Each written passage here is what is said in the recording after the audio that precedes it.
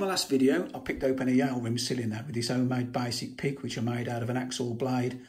I've rubbed it down since then, and when I say rubbed it down, I mean I've just gone over it with a bit of emery cloth. Look, there's all little dints in it still. I've not polished it. I've not used any fine wet and dry. It's still a real rough and ready basic pick.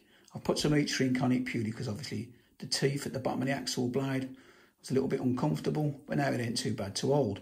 So I just wanted to show you that you can make real basic uh, lock sport tools out of scrap material and they do actually work. You can't compare this to some of them awesome picks that people make.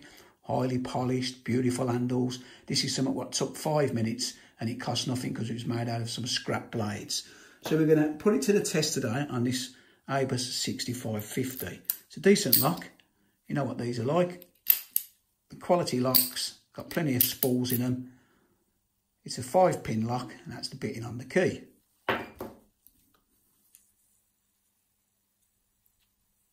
So let's see if this little, I'll call it my Frankenstein pick because it is an ugly looking thing.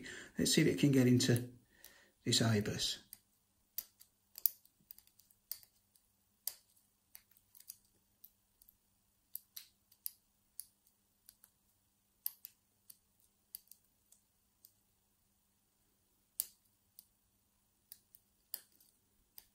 You know what you get with these German locks?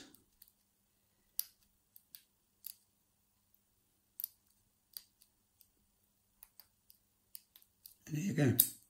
So yeah, it did actually get the lock open. And like I say, it didn't cost nothing to make. It was made out of a bit of scrap material. Yeah, it's not pretty, but it actually does do the trick. So that's it for now. As always, thanks for watching, and I'll see you again next time. Try it a bit.